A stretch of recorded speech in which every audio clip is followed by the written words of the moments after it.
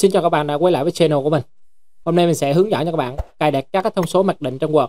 Chẳng hạn như là phong mặc định nè, cỡ chữ mặc định nè, các định dạng tab mặc định, đơn vị mặc định. Đầu tiên là mình sẽ hướng dẫn cho các bạn là cài đặt đơn vị mặc định. Bạn vào cho mình tab file. Bạn chọn cho mình option. Sau đó các bạn vào cho mình cái tab advanced Bạn kéo xuống bên dưới này các bạn tìm đến đơn vị là in. Thông thường thì Word nó sẽ là số đơn vị này measurement này là in bạn chỉnh về cho mình là mm rồi sau đó các bạn ok. Ngoài ra các bạn có thể là bật tắt các cái chế độ chắc chính tả. Thông thường thì mình đánh tiếng Anh đó, thì mình chắc chính tả được. Còn tiếng Việt thì mình tắt cái chế độ đó đi đi để có cái, cái vết đỏ đỏ ở dưới chữ nó rất là khó nhìn. Đây các bạn vào bên này nè. Bạn tắt cái chế độ đó đi. Thông thường mình sẽ tắt hết còn nếu bạn gọi tiếng Anh thì bạn chắc vào thôi còn tiếng Việt á, nó để cái chữ bên dưới nó có cái nét đỏ đỏ như thế này này nó rất khó chịu. Nên các bạn có thể vào cái tab này và các bạn tắt đi tất cả cái tính năng này. Và sau đó các bạn ok. Là các bạn đã cài được đơn vị và các bạn tắt tính năng chắc chính tả. Bây giờ tiếp theo các bạn cài đặt cho mình cái phần phong mặc định. Để cài đặt phong mặc định á, các bạn vào cái tab phong này cho mình nè. Tab home này, group phong này. Các bạn bấm vào cái dấu mũi tên này nè, bấm vào xuống. Thì nó sẽ hiển thị cho mình một cái hộp thoại cài đặt ở đây các bạn tiến hành cài đặt phong. Ví dụ phong các bạn là phong Ario hay là phong Time New Roman gì các bạn gõ vào đây. Giả sử mình cài đặt là Ario. Bấm vào đây. Sau đó là kiểu kiểu style là kiểu nghiêng kiểu đậm kiểu gì đó. Các bạn để kiểu thông thường thôi. Mặc định thì cài kiểu thông thường thôi còn muốn nghiêng muốn đậm gì đó vô bạn định dạng sâu cỡ chữ đa phần các công ty hiện giờ họ dùng cỡ chữ 12 nha các bạn. Còn đối với văn bản mà các bạn làm đồ án á, hay là làm luận văn tốt nghiệp á, thì bạn dùng cỡ chữ 13 giả sử như bạn dùng cỡ chữ 13 thì bạn điền vô đây còn mình thì mình hay dùng 12 thôi. Bên dưới này là cài đặt màu chữ. Màu chữ thì các bạn để automatic thôi. Còn nếu các bạn muốn đổi màu thì các bạn cài đặt vô đây. Rồi kiểu đường line cho chữ thì các bạn để trống thôi. Nên nha các bạn. Đó. Nếu các bạn mà chọn đường line cho chữ này, thì nó sẽ có cái màu cho bạn này. Còn không thì các bạn để nên thôi. Nó sẽ không có chỉnh được cái đường line hiệu ứng ở đây là các bạn có thể là cài đặt mặc định là lúc nào cũng là cap lock này in ho này, ẩn đi này, rồi là smell này, đó là in thường này. Đó, các bạn thấy không?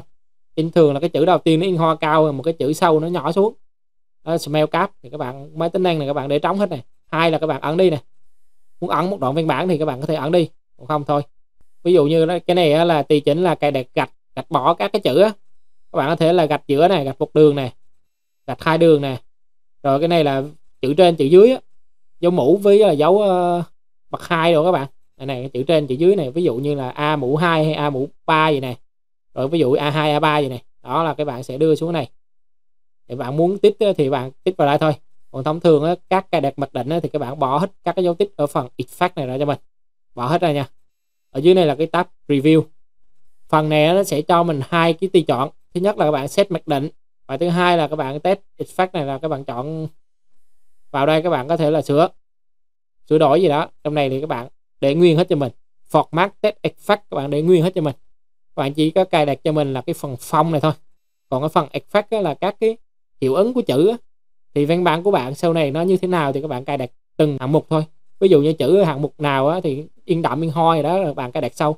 Còn ở đây đối với cài đặt mặc định này á, thì các bạn chỉ cần cài đặt phong chuẩn cho mình thôi. Ario hoặc là Time New Roman gì đó tùy các bạn sử dụng phong gì thì các bạn cài đặt phong đó. Và sau khi cài đặt hết các cái thông số như mình vừa nói ở đây nè thì ở dưới này nó có cái tùy chọn là set mặc định nè. Thì các bạn bấm vào thì nó sẽ hiển thị cho mình một cái hộp thoại thông báo tiếp theo. Đó là các bạn sẽ set các cái thông số mặc định này ở cái tài liệu này thôi, hay là các bạn set ở tất cả các tài liệu trở thành một cái template luôn. Thì nếu các bạn muốn set một cái bộ template chuẩn thì thông thường mình hay set là set tất cả tài liệu luôn. Sau này mở cái tài liệu bạn lên là nó sẽ là Ario hết. Ví dụ như mình set chỉ là cái tài liệu này thôi này giả sử như mình set ở đây nha, ok. Rồi sau đó mình mở một cái file mới lên nè. Phong nó vẫn là cái phong lúc nãy body gì đó, chứ không phải là phong Arial đây. Bây giờ giả sử mình vô, mình chọn lại cái tùy chọn đó là set mặc định. Chọn ở đây. Set là set mặc định ở tất cả tài liệu. Chọn ở đây. Set. Thì khi mình mở một file mới á, nó sẽ lấy hết tất cả các định dạng mà mình vừa cài đặt. Chọn ở đây. Đó, các bạn thấy không? Nó sẽ cài đặt cho mình là ở cái phần này, phong là gì, cỡ bao nhiêu, và loại định dạng của nó sẽ có đầy đủ cho các bạn. Các bạn thấy tính năng hay không? Các bạn chỉ cần cài đặt một lần một thôi sau này các bạn chỉ cần mở Word lên và các bạn dùng thôi. Đó là cái phần à, cài đặt mặc định về phong bây giờ mình sẽ hướng dẫn cho các bạn là cách cài đặt về các cái định dạng paragraph. Thì các bạn chọn vào đây, sổ xuống. Và các bạn sẽ cài đặt mặc định ở đây. Canh lề trái phải là như thế nào? Ví dụ như mình muốn là canh lề là canh lề bên trái. Tất cả các đối tượng. Sau này mình sẽ canh lề trái. Giờ mình thích canh lề trái nữa, mình canh đều. Canh đều giữa hai bên nè. Đây là cái tùy chọn này nè các bạn thì mình cài đặt mặc định là sau này mình chỉ việc là mở lên mình dùng là nó sẽ mặc định là canh đều không còn cánh trái nữa. Thì mình là canh đều và cái kiểu là outline level body test. Là kiểu này á, là các bạn sẽ lấy theo cái kiểu body test hay là các bạn lấy theo level 1 level 2 level 3 đến 9 level. Thì Word nó sẽ hỗ trợ cho các bạn là chín cái level này. Thì thông thường các bạn sẽ lấy theo là body test là cái test mặc định theo cái kiểu outline này. Rồi bên dưới này là cái phần canh lề khoảng mà canh lề trái phải của bạn, các bạn muốn là khoảng cách nó bao nhiêu? Nhập cho đây. Giả sử như mình muốn canh nó lên là 5 mm đi. Rồi bên phải là các bạn canh ở bao nhiêu? Đây nè các bạn nhìn dưới review này. Canh theo cái thẻ này nè. Ví dụ như mặc định paragraph bạn là nó nằm ở ngay này thì cái chữ của bạn nó sẽ được đánh là thẳng theo bên này. Giả sử như mình nhập về không nè. Đó, chữ bạn sẽ canh sát mép này bây giờ các bạn không thích nó là, là canh sát mép nữa các bạn cho nó vô là 2 mm hay là 3 mm gì đó. Các bạn gõ vô đây phải cũng vậy luôn. Nhưng mà thông thường các thông số này các bạn để mặc định đi nha. Cho nó tận dụng hết cái trang quật thôi không cần là, là canh ở giữa này nhập về lại không hết cho mình. Rồi bên này các bạn là sử dụng specify này các bạn có phần là first line không? Đó là khoảng cách cái line đầu tiên này thuộc đầu dòng đầu tiên á cần thiết thì các bạn gõ thôi không cần thiết thì thôi. Nếu mà các cái phiên bản mà đồ án tốt nghiệp hay là đồ án môn học gì đó thì các bạn hay là first line này là, là thuộc đầu dòng á. À, các bạn xem review này. Hay là nó, nó thuộc mấy dòng dưới. Đó các bạn muốn chọn tùy chọn nào thì các bạn chọn.